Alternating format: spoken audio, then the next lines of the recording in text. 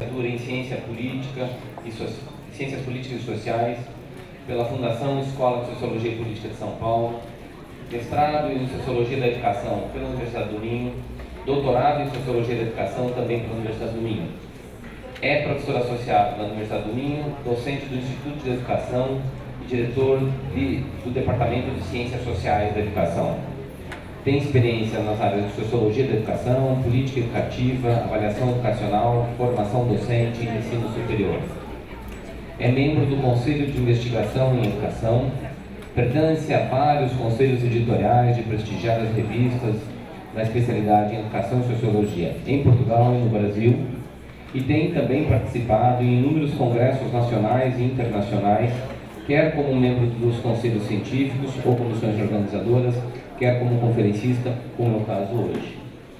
É membro associado de várias organizações científicas, entre as quais a Associação Portuguesa de Sociologia, Observatório Internacional da Profissão Docente, a Sociedade Espanhola de Educação Comparada e a European Evaluation Society.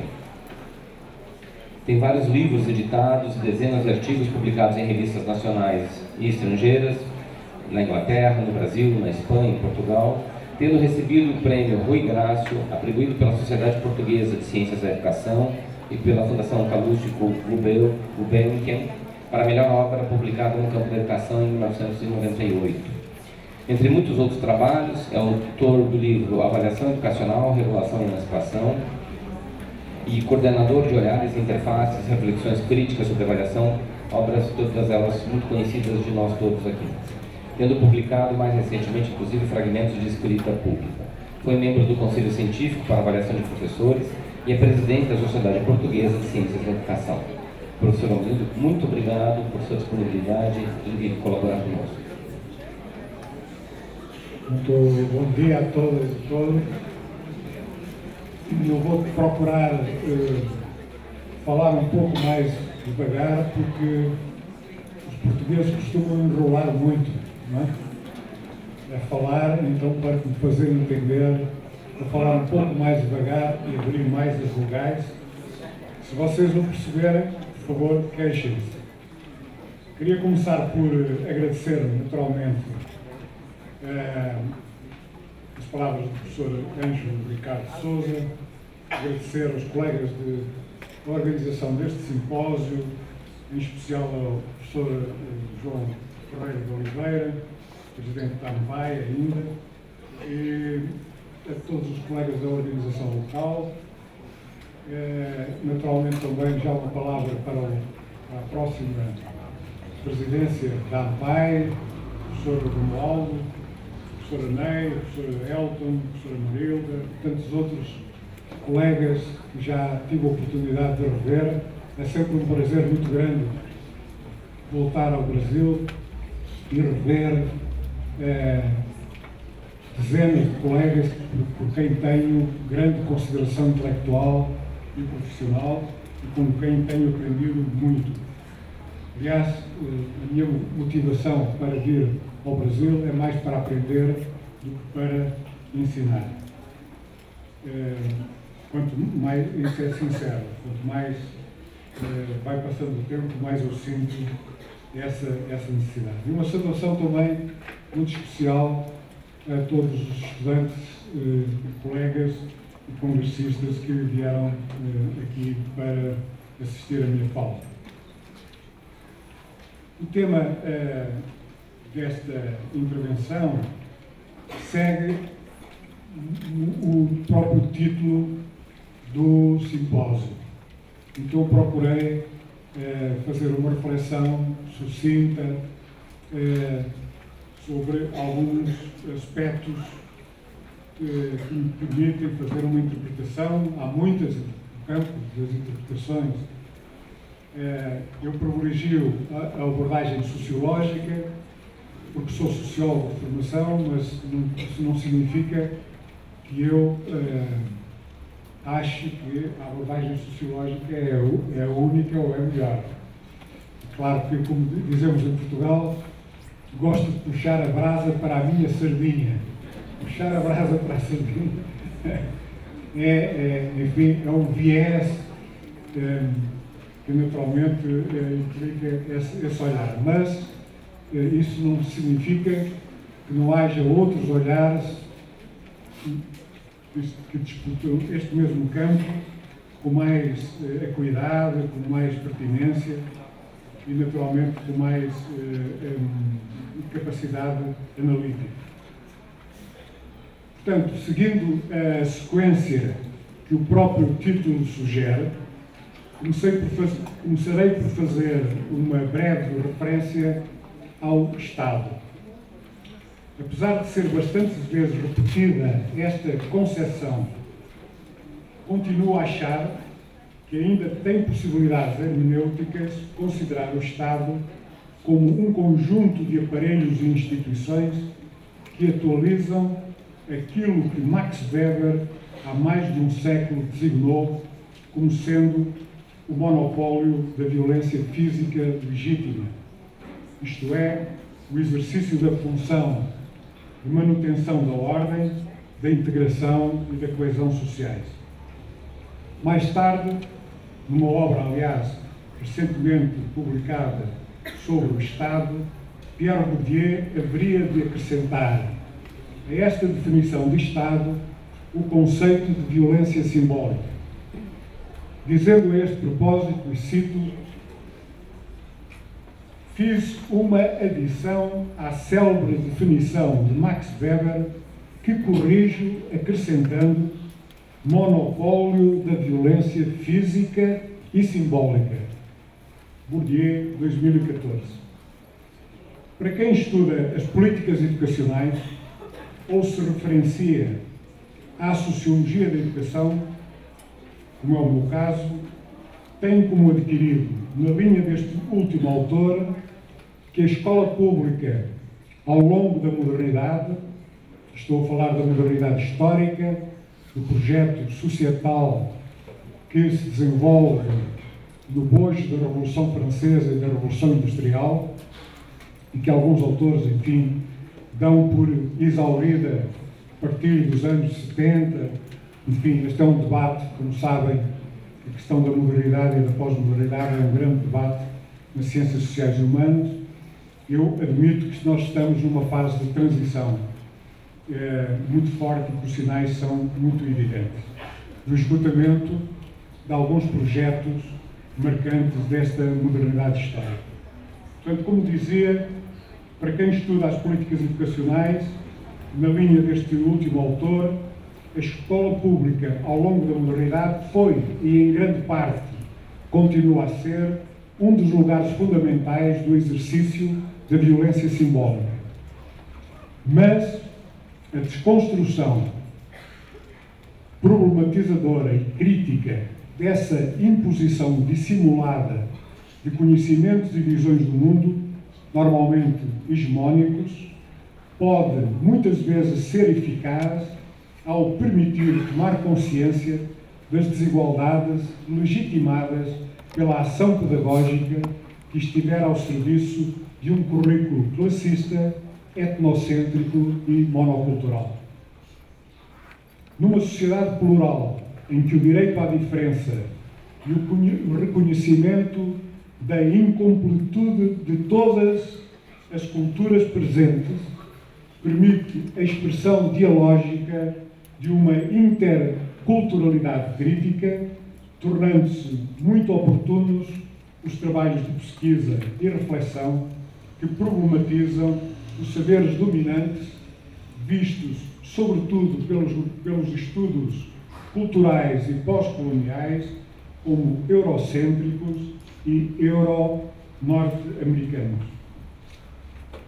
Torna-se, por isso, necessário ampliar os horizontes cognitivos de modo a considerar a importância das chamadas epistemologias do Sul e da ecologia dos saberes, tão cara a Boaventura Sousa Santos, atravessando fronteiras cognitivas e não apenas geográficas e atualizando os problemas de uma epistemologia complexa de que já falava há décadas Edgar Morin. E esta reflexão epistemológica é ainda mais importante quando o próprio conceito de violência simbólica está ele próprio a ser desvitalizado por factos novos da realidade social e educacional contemporânea. Também por isso, no contexto das diferentes globalizações, uma, um dos desafios das ciências sociais e humanas é a incerteza e a complexidade inerentes às mudanças no mundo atual, o que implica, na linguagem de Roger Dale e Susan Robertson, ter em conta os limites do chamado nacionalismo metodológico, designação que estes autores cunharam para chamar a atenção para os limites das análises centradas exclusivamente no Estado Nacional, uma vez que falar ou pesquisar numa era de globalização significa também estar atento a formas complexas nas quais as políticas e processos educacionais, cito, estão sendo construídos ou constituídos em escalas múltiplas, tanto fora como dentro das fronteiras nacionais. Por outras palavras, a compreensão das especificidades históricas, culturais, políticas e educacionais de um determinado sistema educacional torna-se mais densa quando se ultrapassam analiticamente as fronteiras nacionais e estatais e se está intelectualmente e metodologicamente disponível para conhecer outros contextos e sistemas educacionais.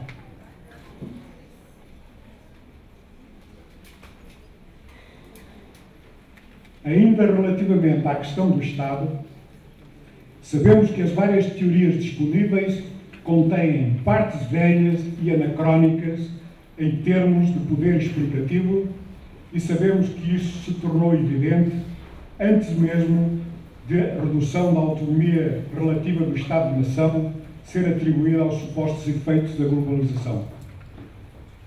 Eu diria que uma das coisas que nos falta hoje é uma, é uma teoria política que seja capaz de explicar o, os acontecimentos contemporâneos. É então necessário convocar teorias que, permitindo superar os déficits já existentes e diagnosticados, procurem explicar a redefinição do papel do Estado, tendo agora em conta as múltiplas e novas condicionantes emergentes da reestruturação e internacionalização do capitalismo a nível global, as quais se mesclam com a redefinição e apelo a visões do mundo cada vez mais híbridas, contraditórias e líquidas, na acessão de Zygmunt Bauman. Neste aspecto, uma sociologia da ação pública pode induzir outros insights e contribuições na medida em que perspectiva o Estado moderno, inserido numa rede complexa de relações que influenciam a sua capacidade de produzir as suas próprias políticas de maneira autónoma. O Estado não age sozinho, como se estivesse num vácuo, embora possamos duvidar que algum dia tenha sido assim. Nesse sentido, a ação pública só pode ser entendida em vários níveis, que têm uma margem de manobra própria, interagindo ao mesmo tempo de forma mais ou menos regulada. Cada nível produz regulação. Pode-se então falar de multiregulações, cujos emaranhamentos, emaranhamentos e vinculações ou desvinculações requerem análises minuciosas. Isto propicia alguma reflexão sobre a regulação, ainda que de forma breve.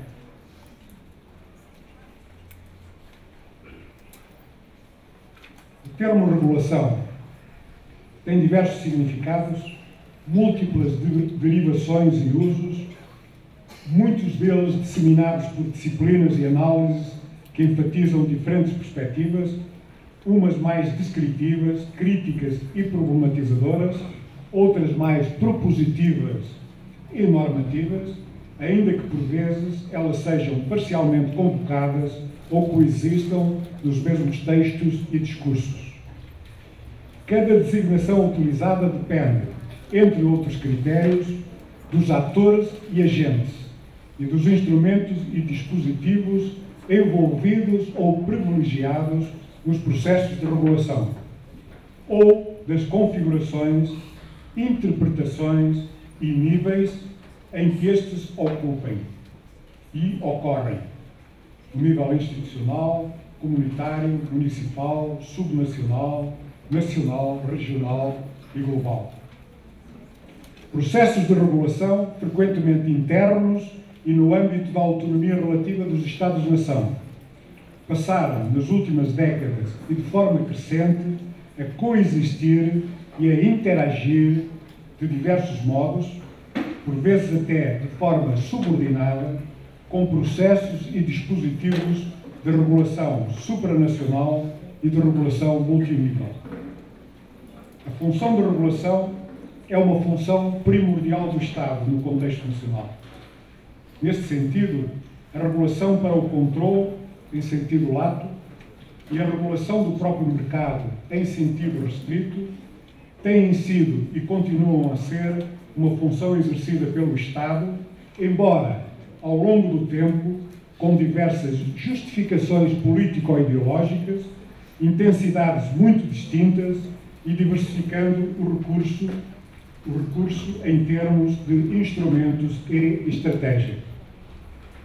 No entanto, algo de estranho acontece quando, dentro das lógicas atuais do capitalismo mais agressivo e da simultânea retração e fragilização da democracia representativa, são os próprios poderes dominantes que abrem brechas nas regras mais ortodoxas e estruturantes do neoliberalismo, supostamente baseado na salutar competição dos mercados desregulados ou autorregulados e nas regras mais elementares da democracia liberal. A título de exemplo, é relativamente inesperado o que ocorre quando se reassume o protecionismo económico imposto, imposto pela atual administração norte-americana ou quando se decide o próprio Brexit em relação à pretendida saída da Inglaterra da União Europeia, os quais não deixam de significar a vontade de reassumir uma parte importante do poder de regulação dos mercados e não só por parte dos respectivos Estados nacionais. Indiferente a isto, a expansão da mercadorização de várias dimensões do mundo da vida, uma expressão de Habermas, parece parável, ao mesmo tempo em que se mantém uma grande opacidade dos mecanismos de regulação que suportam, por exemplo, o crescente protagonismo do sistema financeiro e, no caso que mais impacta em educação, as formas mais ardilosas de privatização do público ou mesmo o escasso escrutínio democrático sobre as consequências do capitalismo cognitivo e da nova economia do conhecimento. A economia do conhecimento pode ser entendida como o lado mais pragmático e lucrativo da aprendizagem ao longo da vida e da sociedade do conhecimento, ou seja, como o contexto onde atualmente se expressa a relação mais evidente entre a procura, entre a produção de conhecimento, os novos processos da população capitalista e as formas de gestão. Peter Drucker, um insuspeito guru da gestão, escreve a propósito, cito, a produtividade do conhecimento será um fator determinante na posição competitiva de uma indústria, de uma empresa e de um país inteiro.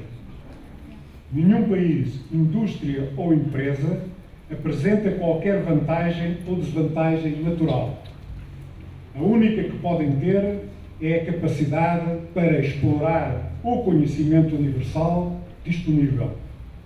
A única coisa que será mais importante, quer na economia nacional, quer na internacional, é o desempenho da gestão, no sentido de tornar o conhecimento produtivo.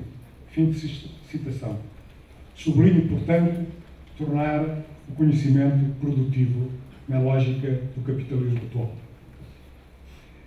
Não entrando aqui no aprofundamento da questão conceptual e politicamente relevante da novidade ou não novidade da emergência de um capitalismo imaterial, questão sobre a qual diversos autores, nomeadamente brasileiros, se têm debruçado criticamente, é fácil perceber que os processos de globalização da economia têm implicado modificações profundas nos mecanismos de acumulação de capital, sendo que uma das dimensões desta mudança respeita justamente à desmaterialização desse mesmo capital, considerado agora imaterial ou intelectual, isto é, conhecimento, e já não apenas coisas como máquinas e outros equipamentos.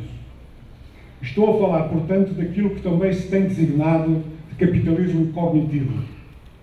Neste sentido, qualquer ponto de vista que nos leve a uma visão holística e crítica no contexto da sociedade e economia do conhecimento, o ensino superior, por exemplo, torna-se muito difícil de ser pensado abstraindo das mudanças atuais do capitalismo.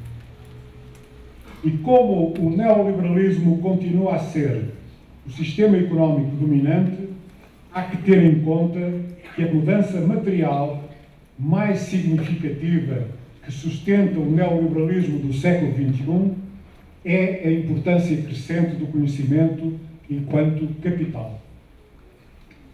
São estas, aliás, as orientações do Banco Mundial, da União Europeia, da OCDE e de outras organizações multilaterais. Por isso, quando nos perguntamos qual é a natureza deste conhecimento, a resposta é óbvia. Trata-se do conhecimento científico e técnico que possibilita processos de afirmação comparativa e competitiva e que permite a sua apropriação dentro de uma racionalidade recentemente mercantilizada e lucrativa, através de estratégias conhecidas de articulação dos centros de pesquisa de instituições de ensino superior com as empresas ou destas com outras instituições, onde são fundamentais a inovação, o registro e a venda de patentes e outras formas de comercialização de ideias e invenções bem como as consultorias do campo das tecnociências ou mesmo das ciências sociais e humanas, além dos benefícios financeiros decorrentes da reserva de propriedade intelectual ou qualquer outra oferta de serviços especializados. Em síntese, trata-se de um conhecimento útil que alimenta o chamado capitalismo académico e não apenas um conhecimento como fim em si mesmo, impulsionado pela liberdade académica ou que tenha objetivos emancipatórios. Aliás, em regimes democráticos, a autonomia universitária e a liberdade académica têm sido, desde há muito, valores e princípios fundamentais preservados não apenas pelos docentes e pesquisadores, mas também reconhecido social e politicamente. Isto não significa, no entanto, que as instituições de ensino superior devam ser opacas ou impermeáveis ao escrutínio público. Mas também não pode significar que esse escrutínio se baseie meramente em resultados imediatamente mensuráveis ou em produtos financeiramente rentáveis exclusiva ou predominantemente subordinados a lógicas pragmáticas, utilitaristas e mercadorizáveis, induzidas e apoiadas pelas lógicas da nova gestão pública. Na economia do conhecimento, há cada vez mais pressões para aumentar a eficácia competitiva do Estado, o Estado competidor, de modo a manter condições para a expansão do processo de acumulação, sem deixar de ter em conta a necessidade de construir padrões aceitáveis de coesão social. Neste sentido, a definição de regulação tornou-se ela própria mais complexa e polissémica, desde a economia até à educação. E governar enquanto ação do governo passou a diferenciar-se de governança ou governância, querendo este novo conceito significar, genericamente, que uma diversidade de atores está envolvida em múltiplos processos de regulação ou numa regulação multiscalar que já não se referenciam exclusiva ou predominantemente ao Estado Nacional, ainda que este não deixe de estar ativamente presente. Há, portanto, articulações e interfaces complexas e contraditórias entre governança e regulação que são particularmente pertinentes em termos analíticos. Assim sendo, as políticas educacionais, enquanto políticas públicas, podem, entre outras funções, contribuir para assegurar a estabilidade de um determinado regime de acumulação e de uma determinada configuração de ordem social ou coesão social, e neste sentido têm a ver também com o modo de regulação dominante numa determinada conjuntura ou período histórico. Por outro lado, quer por referência à transição do Fordismo para o pós-Fordismo, quer por referência à globalização e internacionalização da economia, quer por referência à crise do welfare state. A regulação aparece cada vez mais associada a uma, no, a uma nova forma de atuação do Estado, o Estado regulador. Na perspectiva de Jean Domenico Maione, enquanto o Estado interventor conta com uma administração burocrática centralizada, o Estado regulador depende da extensa delegação de poderes a instituições independentes, comissões e agências reguladoras. No caso da educação, para João Barroso, a expressão Estado regulador transmite igualmente a ideia de um Estado menos prescritivo e regulamentador e de uma nova administração pública que substitui um controle direto e a priori sobre os processos por um controle remoto e a posteriori baseado nos resultados. Aliás, aquilo que já se chama a agencificação da administração pública está, portanto, em linha com a introdução do New Public Management. Em qualquer dos casos, o Estado regulador na medida em que está mais interessado nos resultados do que nos processos, não se distingue no que a avaliação diz respeito do Estado avaliador. A avaliação é aqui claramente assumida como um instrumento de regulação. Em muitos países, os sistemas educativos nacionais, como no caso do sistema de ensino em Portugal, foram, durante muito tempo, regulados de modo predominantemente administrativo-burocrático, tendo o Estado como principal protagonista, desde logo na definição dos objetivos curriculares e educacionais e respectivos sistemas de avaliação. Saliente-se que o Estado avaliador é perfeitamente congruente com modelos de regulação pós-burocráticos. Nos últimos anos, aliás, um dos aspectos mais expressivos dos novos modos de regulação no campo da educação, num número crescente de países, tem a ver com a mudança de uma regulação baseada em objetivos definidos a priori para uma regulação baseada em resultados ou outcomes. Também designada aqui como regulação baseada no conhecimento ou regulação pós-burocrática, de que o PISA, já ouviram falar, Program for International Student Assessment, seria o exemplo mais conhecido e com maior impacto. Mais especificamente, nos modos de intervenção da OCDE, no âmbito do PISA, encontram-se os traços fortes de uma regulação transnacional.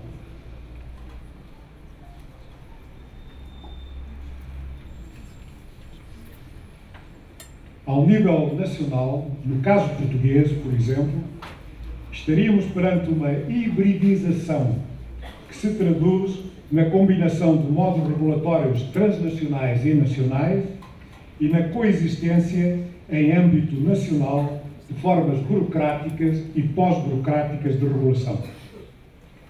Por outro lado, o interessante debate, a partir das contribuições de autores de referência no campo dos estudos da administração educacional em Portugal, alguns deles muito conhecidos no Brasil, como é o caso do professor João Barroso e do professor Licínio Lima, esses estudos têm posto em confronto argumentos que acentuam a transição para modos de regulação pós-burocráticos e argumentos que, pelo contrário, enfatizam que não apenas a regulação burocrática não acabou, como há claras evidências de uma radicalização hiperburocrática.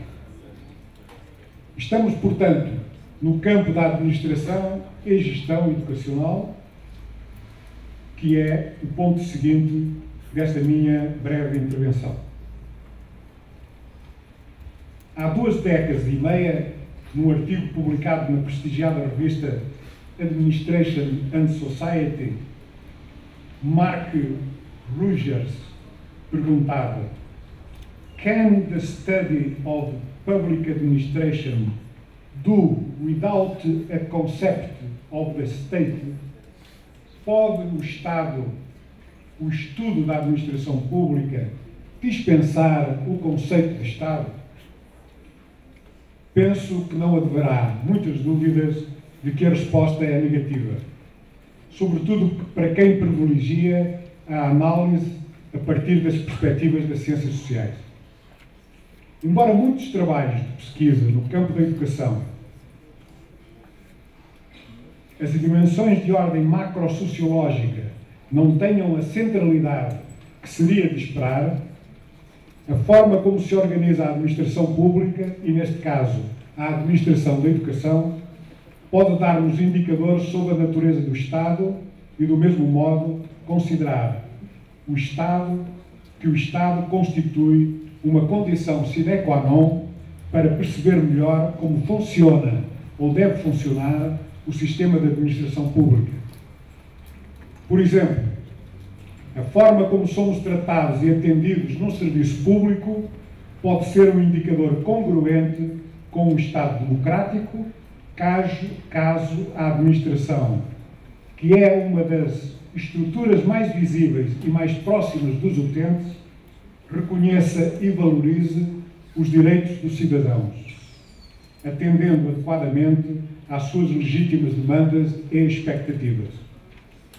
O excesso de exigências burocráticas, tal como percepcionadas pelo senso comum, ao contrário do que pretende a teoria da burocracia como modelo racional no sentido weberiano, é, pelo contrário, um indicador da não interiorização dos direitos por parte da administração pública. Não por acaso se tem escrito que a burocracia tem enfrentado duras e implacáveis críticas por estar mal adaptada para lidar com as tarefas, propósitos e circunstâncias das democracias contemporâneas. Num sentido amplo, e para os objetivos desta minha fala, direi, portanto, que os modelos de gestão não são indiferentes à evolução na natureza do Estado e da administração pública, marcando também, e de certo modo, as fronteiras da gestão da própria escola pública, mais burocrática ou mais pós-burocrática, mais autónoma ou mais dependente hierarquicamente, mais centralista ou mais participativa, mais numa lógica de educação para a regulação ou mais numa lógica de educação para a emancipação. Para concretizar um pouco estes pressupostos, vou seguir uma linha diacrónica e referir-me em seguida, de uma forma sucinta e genérica, à realidade educacional portuguesa, no que diz respeito, em particular, à evolução dos modelos de gestão que nestas últimas décadas foram adotados na escola pública.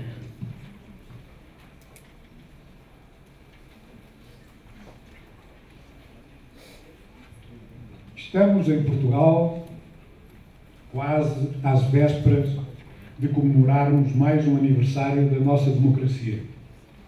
Regime político impulsionado pela Revolução dos Cravos de 25 de abril de 1974. Vou por isso ilustrar rapidamente como é que de então para cá evoluiu a natureza do Estado português e, sinteticamente, como é que isto se repercutiu nos modelos de administração, ou seja, nos modelos de direção e gestão das escolas públicas ao longo destes 45 anos. Sabendo que muitos termos e expressões têm significados diferentes em Portugal e no Brasil, vou considerar aqui o conceito de administração como sendo constituído por dois pilares, dois pilares fundamentais: o pilar da direção e o pilar da gestão. A direção, concebida como órgão com competências para definir políticas, orientações, objetivos, metas, fins e projetos político-pedagógicos, dimensão expressiva. E a gestão, como órgão com competências técnicas e profissionais para implementar ou operacionalizar essas políticas, orientações e projetos, ocupando-se essencialmente das questões organizativas, meios, recursos, materiais e humanos, ou seja, as dimensões instrumentais. Assim, num primeiro apontamento, direi que, antes da instauração da democracia, tínhamos um Estado autoritário, fortemente centralizado e com uma administração pública altamente burocrática.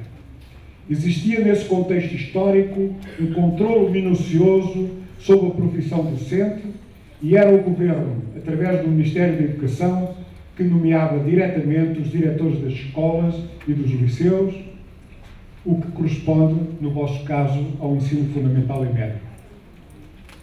Considerando as definições conceptuais atrás referidas, alguns autores e pesquisadores da área da administração educacional em Portugal costumam sublinhar que, nesse período, a direção da escola estava fora da escola, ou seja, do Ministério da Educação.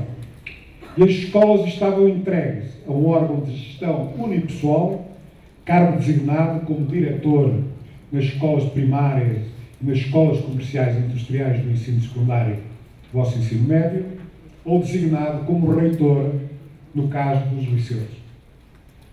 Quando a mudança democrática de abril de 74 ocorreu, a viragem política mais à esquerda repercutiu-se imediatamente nas escolas públicas, sendo que, em muitos casos e conforme as regiões do país, as escolas passaram a assumir o poder de direção e a constituir comissões de gestão democraticamente eleitas, órgãos colegiais, em vez de órgãos unipessoais.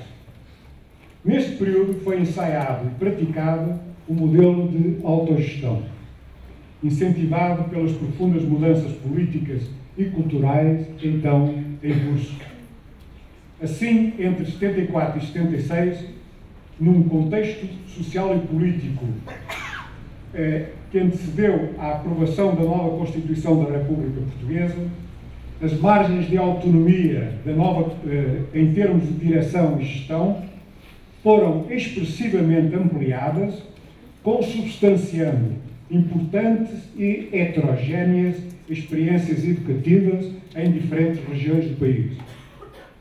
Entre outras mudanças, os conteúdos do currículo e os velhos exames nacionais, que eram um dos ex-libris do antigo regime foram abolidos e substituídos por outros conteúdos e formas de avaliação, e os atores educativos, professores, pais e alunos, ganharam um espaço inédito de participação e de exercício de uma nova racionalidade comunicativa, na seção do Habermas.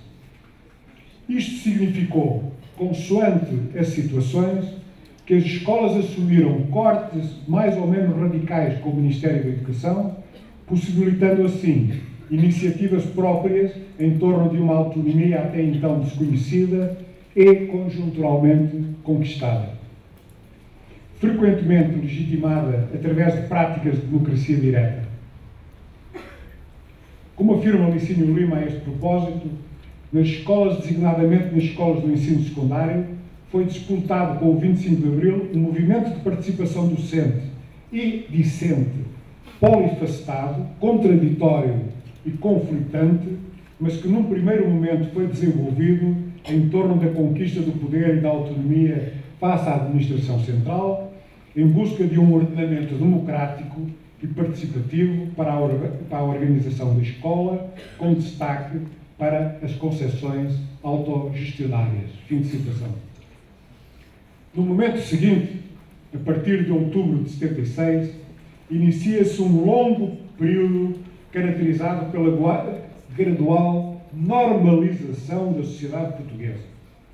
Quer dizer, esta normalização, a recuperação lenta da economia capitalista e a consagração da democracia representativa, que seriam condição sine qua non para pleitear a integração da então Comunidade Económica Europeia, atual União Europeia.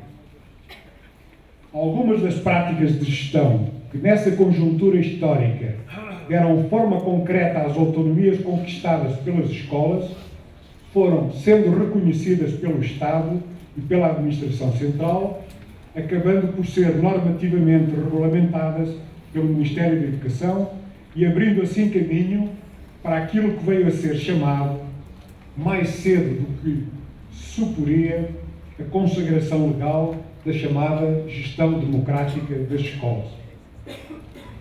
Esta designação, gestão democrática das escolas, atendendo às especificidades das mudanças educacionais em Portugal, neste aspecto diferentes do Brasil, significou a generalização a todos os estabelecimentos de ensino de um modelo uniforme que, herdando o espírito de participação e democraticidade dos momentos que se seguiram à Revolução dos Cravos, se traduziu na eleição de um órgão colegial de gestão chamado Conselho Diretivo, que viria a ser, ao contrário do que a designação legal deste órgão poderia sugerir, um modelo esvaziado de poderes de direção. Restou apenas um órgão colegial democraticamente eleito em cada escola e, nos anos subsequentes, essa foi a razão pela qual sempre houve uma particular relutância em abandonar este modelo de administração e gestão e a sua designação, sobretudo em setores do campo da educação mais à esquerda do espectro do espectro político. Por isso, para compreender melhor a evolução da gestão democrática em Portugal, é muito importante ter em conta, entre outros aspectos, as especificidades e mudanças relativas ao contexto social e político em que ocorreu a gênese e desenvolvimento deste modelo, mas também as características históricas da escola pública, nomeadamente as transformações após a Revolução Democrática de abril de 74. Numa análise comparada com o Brasil, se é verdade que podemos encontrar motivações e antecedentes que têm as suas semelhanças, nomeadamente no facto de a gestão democrática estar relacionada com processos de transição dos respectivos regimes políticos para a democracia, também não deixa de ser importante perceber as diferenças que existem nos dois modelos.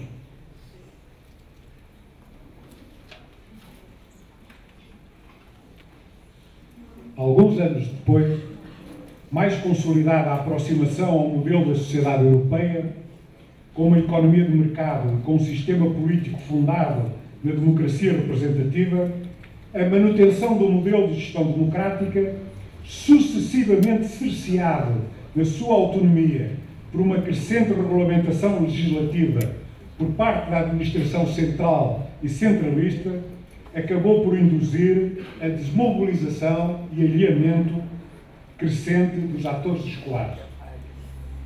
Gradualmente desinteressados de uma participação meramente ritualística na eleição de um órgão que, embora vocacionado para representar a escola perante o Ministério, cada vez se configurava mais como representante do Ministério na escola, muitos atores vão aceitando, sem grandes resistências ou oposições, a despolitização da vida das escolas e a desvalorização da participação e da, da autonomia.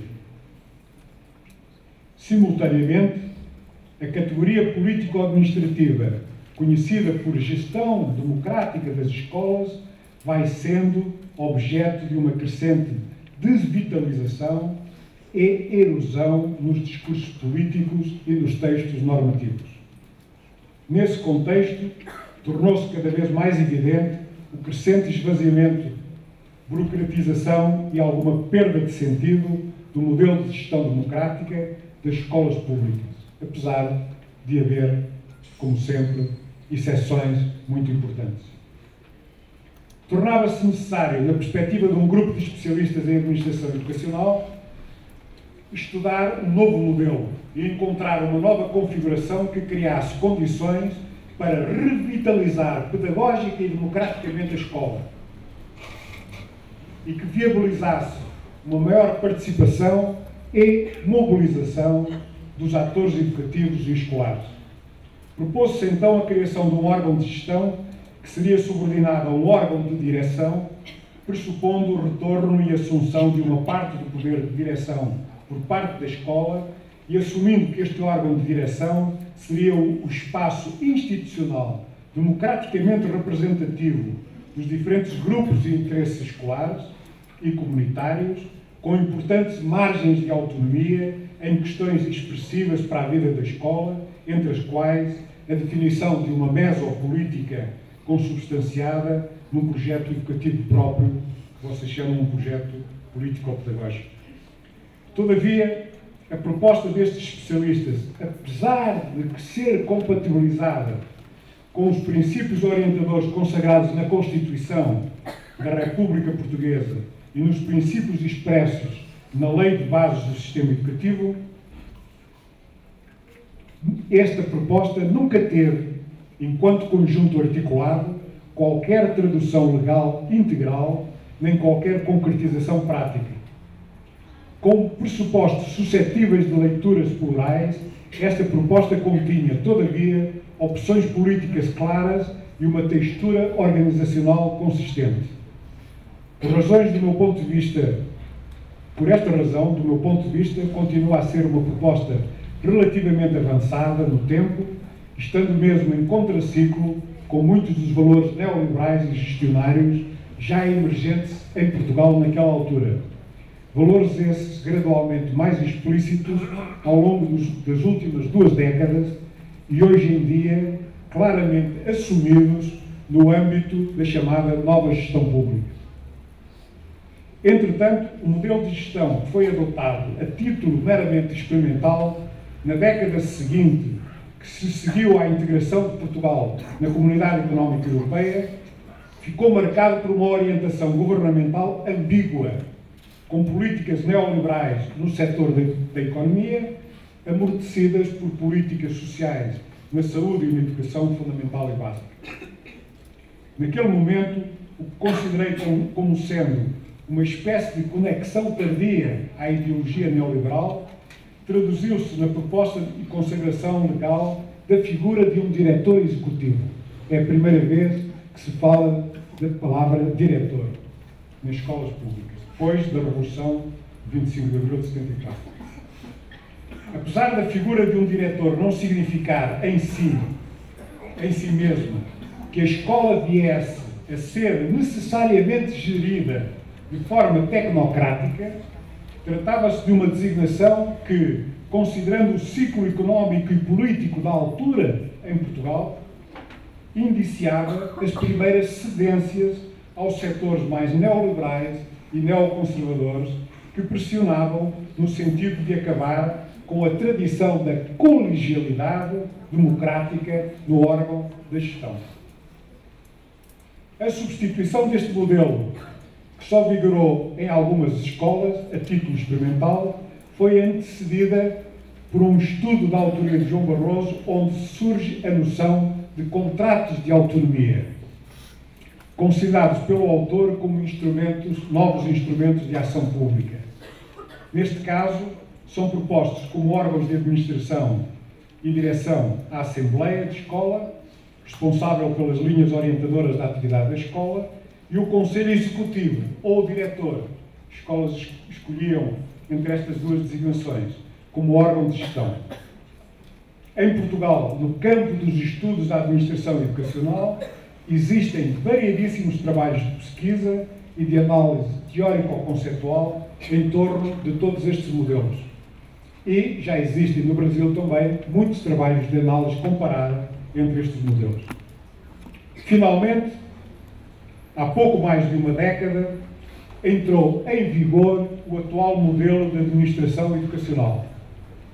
Este modelo, entre outros aspectos, é oficialmente justificado no cito do próprio decreto, como eu próprio escrevi há alguns anos atrás, quando tudo indicava que mais tarde ou mais cedo viria a ser consagrada a figura do diretor nas escolas públicas portuguesas, o gestor ou diretor escolar, como órgão unipessoal de cariz tecnocrático, assume uma nova centralidade organizacional, porque é ele e não os órgãos colegiais que deve prestar contas pelos resultados educacionais conseguidos, transformando-se no principal responsável pela efetiva concretização de metas e objetivos, quase sempre central hierarquicamente definidos.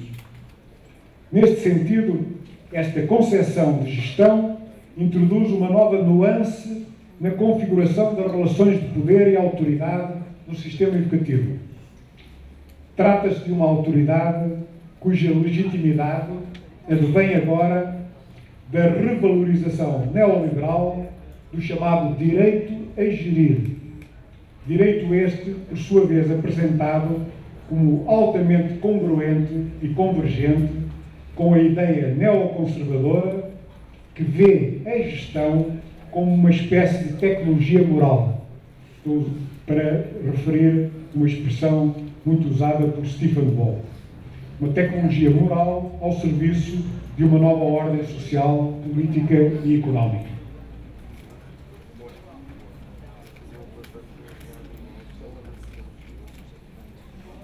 Em Portugal, as escolas públicas dos ensinos básico e secundário e os jardins de infância públicos foram, há poucos anos, na sua maioria, integrados nos chamados agrupamentos de escolas. Cada um destes agrupamentos, bem como as escolas que não foram integradas, regem-se por um modelo de administração onde sobressaem dois órgãos fundamentais: o diretor que é o órgão unipessoal de gestão, e o Conselho Geral, que é o órgão colegial de direção. Neste último órgão participam os representantes de diversos atores e interesses da comunidade educativa, internos e externos. O diretor presta contas pelas suas decisões, quer ao Conselho Geral, quer, sobretudo, ao Ministério da Educação e a outros eh, órgãos da burocracia do Estado. Inspeção Geral, eh, Tribunal de Contas, etc., com poder fiscalizador e hierárquico, mas não só. Com efeito, num contexto em que também é crescente o escrutínio ou controle das famílias e dos chamados stakeholders sobre as escolas e agrupamentos de escolas, sobretudo em, em relação a resultados académicos mensuráveis, as pressões que se exercem sobre o diretor colocam-no ainda mais perante formas diferenciadas e não raras, raras vezes contraditórias de accountability, isto é, de processos ambivalentes e heterogéneos de avaliação, prestação de contas e responsabilização. Trata-se, portanto, de um objeto de estudo novo no campo da administração educacional, que é da problemática da accountability múltipla no campo da gestão educacional, para a qual chamei a atenção num artigo recentemente publicado no Brasil. Embora, estou já a terminar, embora a emergência, inicialmente muito hesitante e ambígua, como órgão de gestão unipessoal, tenha sido em Portugal relativamente tardia face a outros países, visto que só há uma década atrás se generalizou nas escolas públicas a figura do diretor, este parece ter vindo para ficar. Tudo indica, portanto, que a verdadeira gestão democrática, tão longamente apregoada e que continua prevista na Constituição da República Portuguesa, vai permanecer arredada ou adiada sine die enquanto ideário político-pedagógico e também como arquitetura organizacional de viabilização de direitos de participação plural na vida da escola e de possibilidade legítima de tomada de decisões em órgãos colegialmente, democraticamente eleitos. Inspirado em Gabriela Coronado, Constructing the Postcolonial Manager, direi que muitos trabalhos do campo da gestão educacional e as mentes de muitos gestores e diretores de escolas estão fortemente influenciados por uma literatura de management, por vezes também em resultado de uma formação académica americanizada ou eurocêntrica, que é transposta mimeticamente para o campo da educação, deixando transparecer uma atitude neocolonial que se assume como culturalmente superior. E o que acontece no campo dos negócios acontece também, cada vez mais, no campo da educação, ela própria transformada em mercadoria.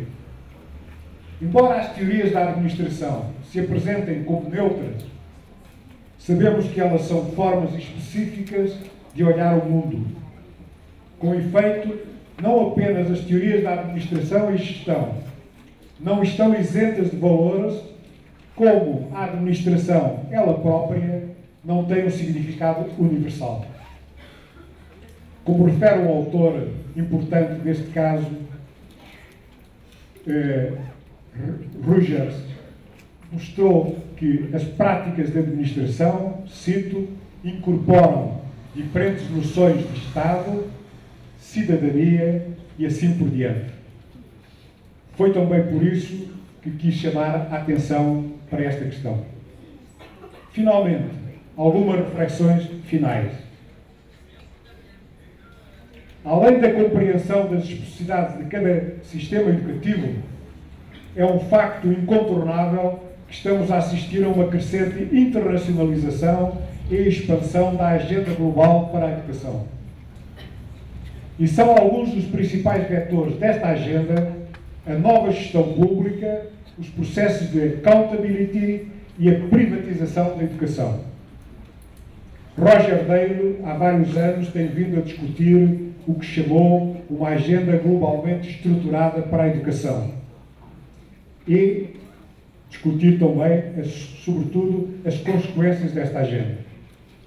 Face a esta agenda, em que as organizações transnacionais e multinacionais, junto com alguns governos de países centrais, têm sido atores fundamentais, parece que estamos também a assistir ao emergir de alguns indicadores de um novo fôlego de alguns Estados nacionais para voltar a exercer mais explicitamente a sua autonomia relativa na definição de políticas educacionais.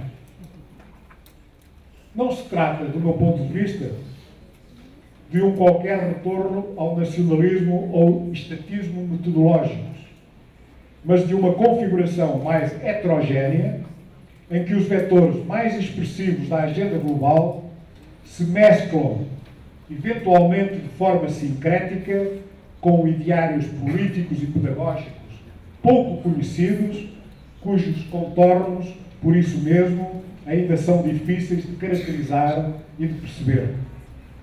É também por isso que, embora conheça um pouco a realidade educacional brasileira e acompanhe o trabalho de muitos colegas e pesquisadores, não sou capaz de fazer, neste momento, uma análise suficientemente consistente daquilo que o título deste simpósio pode sugerir.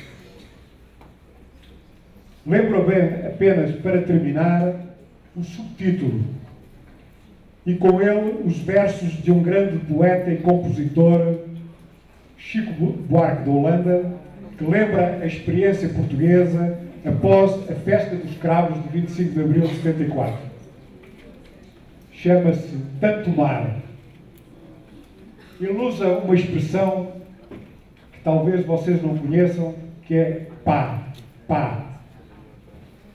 Pá é uma expressão coloquial que nós usamos em Portugal para substituir a palavra cara, ou cara, ou pá. Então o Chico faz usa o pá neste, nesta, neste, nesta letra desta música de homenagem ao 25 de Abril, que como sabem, por razões que talvez conheçam bem, teve duas versões. Eu vou referir à segunda versão é, a letra chama-se Tanto Mar. Foi bonita a festa, pá. Fiquei contente. Ainda guardo, remitente, um velho cravo para mim. Já murcharam tua festa, pá. Mas certamente esqueceram uma semente em algum canto do jardim. Sei que há léguas a nos separar, tanto mar, tanto mar. Sei tão bem quanto é preciso para navegar, navegar. Muito obrigado.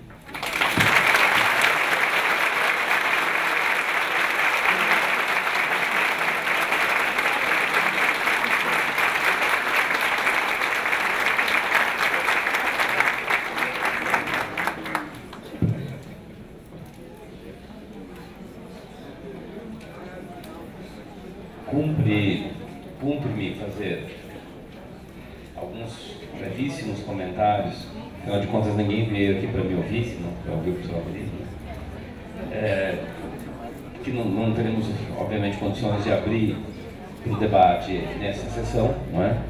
mas essa brilhante intervenção seguramente vai nos inspirar ao longo desses três dias nas reflexões das mesas, nas comunicações e nos painéis.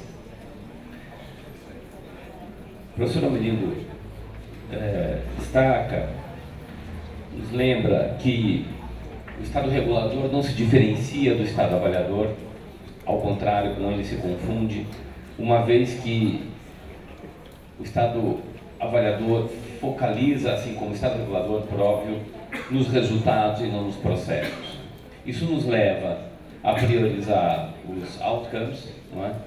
o que, a depender das consequências que tais resultados tenham no universo da escola ou do sistema de ensino, pode provocar docentes, diretores, gestores, a mobilizar todos os recursos, eventualmente até os não muito probos, para atingir tais metas.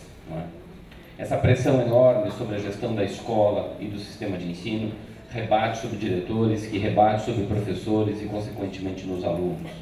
Isso tem a ver com outro aspecto que o professor destacava, que é a relação entre os modelos de gestão não poderem, não ficarem diferentes à concepção e aos modelos do próprio Estado.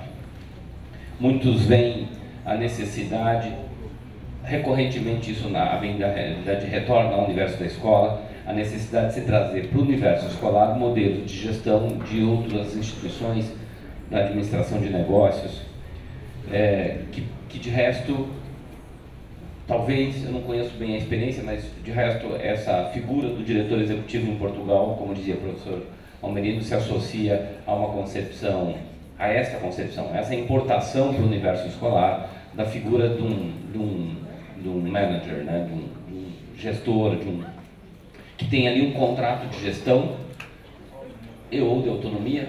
Acho muito estranho, muito curioso essa expressão do professor João Barroso, é, mas muito ao mesmo tempo ilustrativa da ideia do contrato de autonomia. Né? A autonomia fica absolutamente pré-regulada é, e, portanto, eventualmente tratar-se-á provavelmente muito mais de uma heteronomia.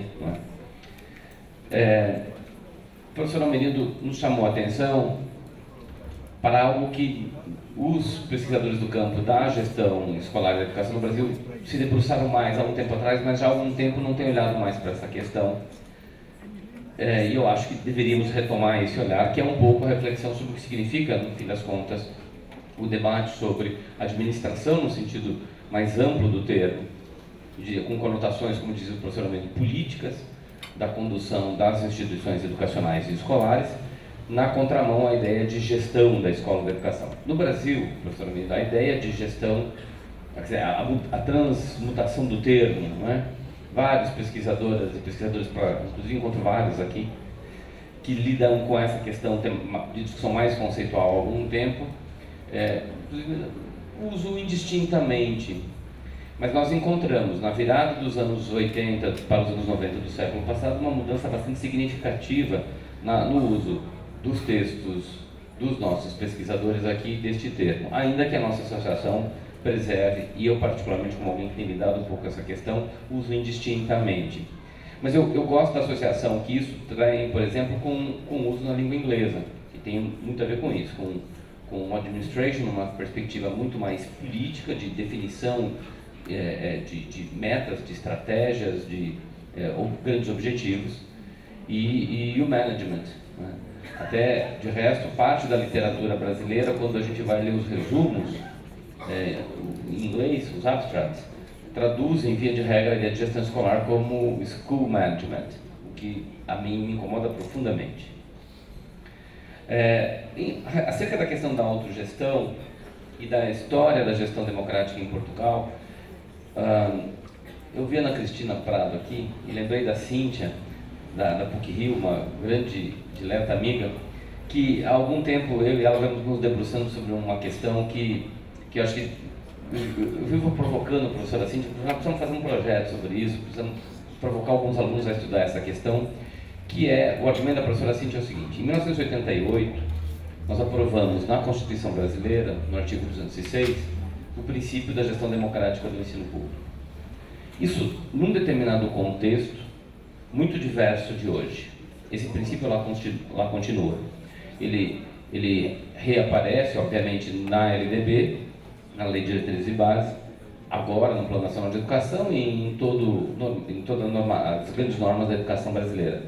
Mas nós estávamos falando, estamos falando da mesma coisa no Brasil, não só comparativamente com Portugal. A gestão democrática que advogávamos em 1988 é essa mesma que advogamos hoje? É, é claro que a, o princípio era fundamental em 88, mas ele representava na minha leitura, que é, e eu compartilho da leitura da professora Cíntia é, Carvalho, representava uma outra coisa. Isso não torna ele menos importante, ao contrário, que isso é mais importante.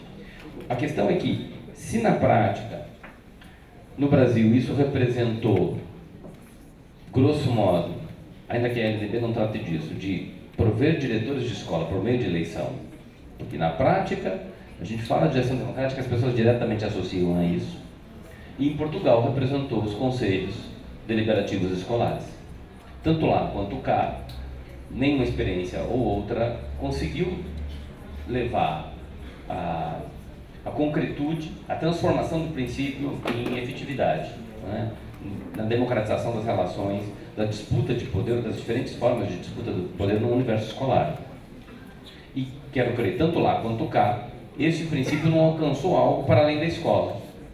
Isto é, eh, me lembro do professor Licínio dizendo que quando a gente olha para a escola portuguesa, nós brasileiros, quando olhamos para a escola portuguesa, olhávamos enxergávamos uma escola é, gerida, conduzida coletivamente, e não enxergávamos a ponta da pirâmide que estava fora da escola.